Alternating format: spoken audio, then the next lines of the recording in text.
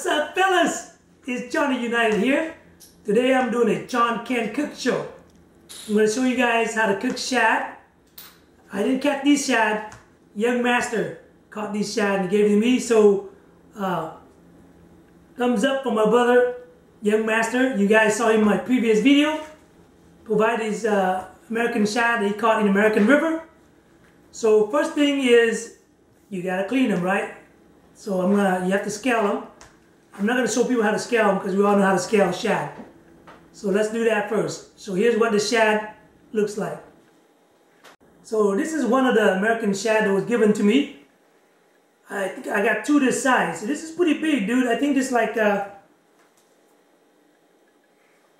you're talking about eight, 18 inch shad, 18 inch shad. All right, fellas, if you can see I've scaled the fish already, Take remove the head and the tail, okay? Notice these bones right here. It's going this direction, see it? So now I'm gonna make a cut counter to that. So I'm gonna make a, a cut like this. By the way, a shout out to my brother Alex Saeteurn, whom I learned from YouTube. But whoever invented this technique first, uh, ought to get a reward. Uh, get a, I'm not sorry, get an award for the way that the shad is cooked. It's really awesome. Once you do this, when you can cook it and eat it, you won't even feel any little bones at all. So here you go. I'm going to cut it against, see this bone here? I'm going to cut it against the bone like that, okay? So here you go. Get a really sharp knife and start cutting it. Anywhere would be fine. Just say, let's say I'm going to start right here.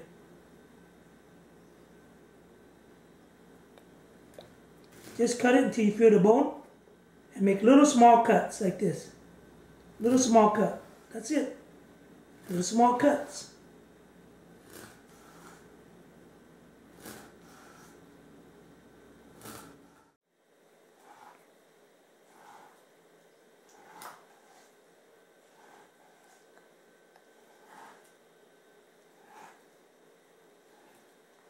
Nothing magical.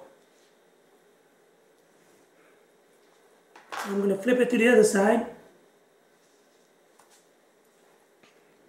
Going to do the same thing. If you, the bones are going this way, and I'm going to cut it across the bone going this way. So the opposite of what I did a little while ago. So a little while on the other side, I went this way with the against the bone, so I'm going to crisscross this way, okay?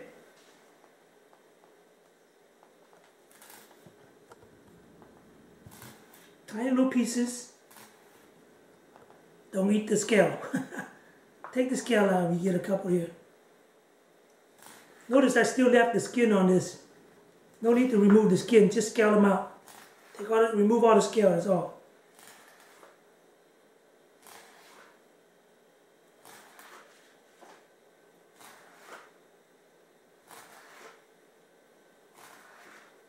Cut them across the bone.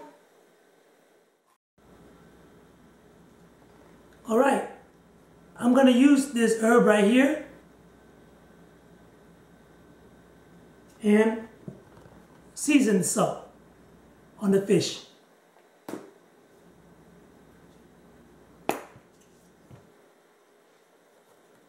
Notice how it goes in really easy here. Can work it right into these crevices right there. Switch to the other side, do the same thing. This is salt free, so you don't have to worry about salt. Salt free, guys. And then a little bit of seasoned salt in there. Don't put too much. Maybe even some in the belly if you want.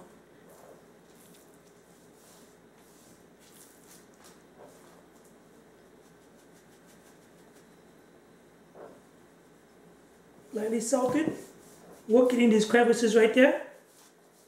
Now, Alex, he barbecued this whole thing on the grill, right? Since I'm gonna be pan frying. All right, fellas, since I'm gonna be pan frying it, I'm gonna cut it so it would fit my pan. This fish is kind of big, so I'm gonna cut it into three pieces. This first piece right here.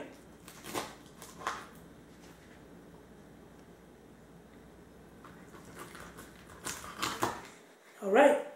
Now I'm just gonna do is pan fry it. I'll show you that in a few seconds.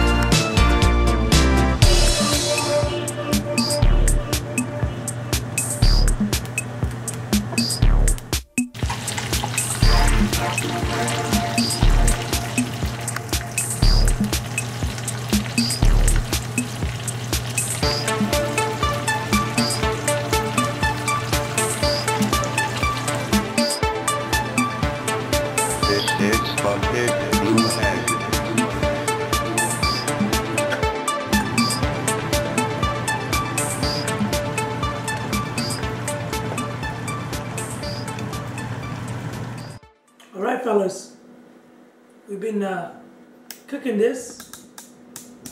15 minutes on one side, we flip it. We cooked it another 10 minutes. So now I'm gonna test it out. See if the bones are still there. Mmm.